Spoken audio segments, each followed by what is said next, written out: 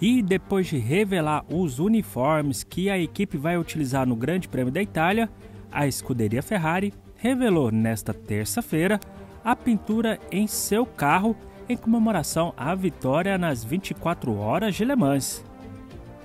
A pintura não é muito diferente do que estamos vendo já ao longo dessa temporada, mas terá detalhes na cor amarela e também na cor preta no carro do Charles Leclerc e também no carro do Carlos Sainz.